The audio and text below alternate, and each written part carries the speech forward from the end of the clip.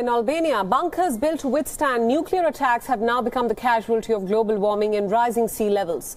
According to experts, the small Balkan nation is among the worst affected in Europe by coastal erosion. Take a look at our next report to know more. Bunkers like these are a common sight in Albania.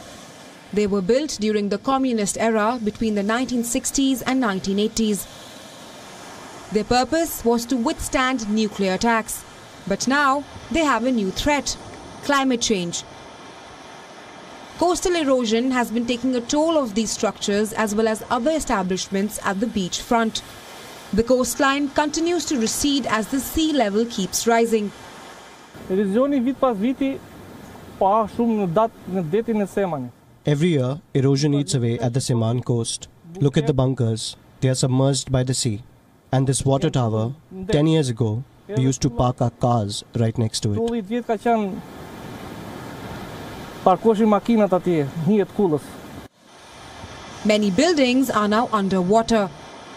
Helpless locals have been abandoning their homes. But businesses at the beaches say that they cannot afford to do so. Absolutisht po që jemi shqetësuar, ne kena frikë. We are worried. We are afraid that one day we will be swallowed up by big waves. That's what happens when the sea rises. The water submerges the bunker. It invades everything in front of it. It's horrible and terrible. Ka shfryrje deri, ne kena frikë sepse ujti kalon mbi. According to a forecast, sea levels in Albania will rise by 41 inches by the end of this century.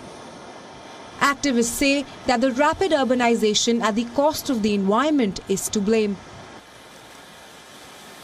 Bovilla is one of the regions that can be qualified as a hotspot in terms of erosion.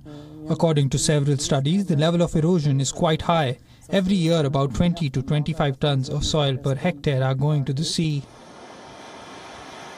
It may not be possible to reverse the damage, but they can be checked and stopped at the present stage if the right steps are taken. Bureau Report, WION, World is One. WION World is One is now available in your country. Download the app now and get all the news updates on the move.